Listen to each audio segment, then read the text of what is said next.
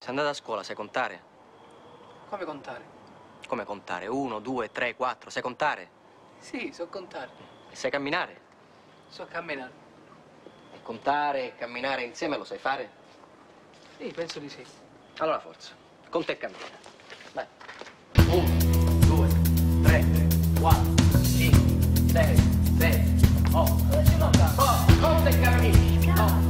90, 91, 92, 93, 94, 95, 96, 97, 98, 99 e 100. Lo sai chi ci abita qua? Ah, un sotaro ci abita qua.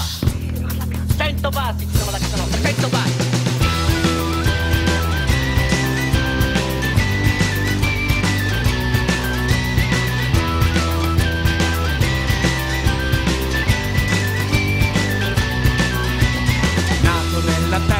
Dei vespri e degli aranci, tra Cinisi e Palermo parlava la sua radio, negli occhi si leggeva la voglia di cambiare, la voglia di giustizia che lo portò a lottare.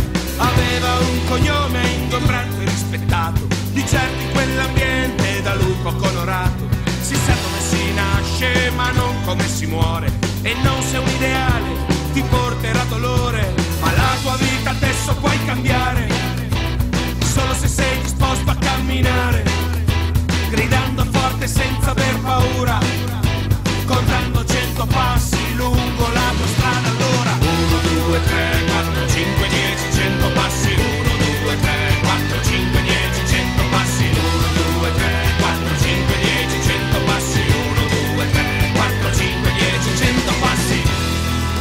Perciò abbiamo ribellare. L'importante non è stabilire se uno ha paura o meno, è saper Poteva convivere con come questa paura, non scegliere partire, invece lui decise di restare.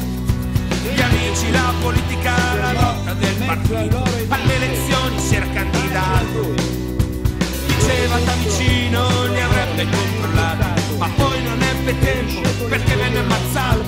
Il nome di suo padre nella notte non è servito, gli amici disperati non l'hanno più trovato.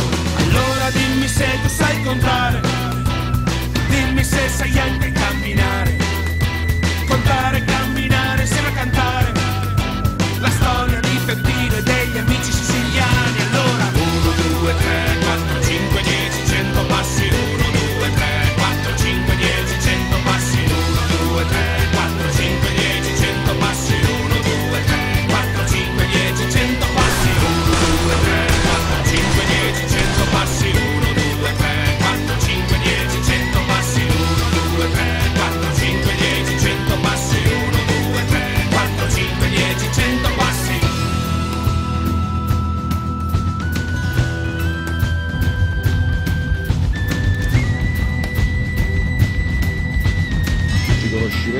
doti al servizio di questo collega, però Era la questa, notte buia dello Stato Eh, italiano, quella del questa 9 maggio messa all'inizio 78, dell'aula che intitola notte di via Caetano, nel corpo di Aldo Moro, l'alba dei funerali di uno Stato.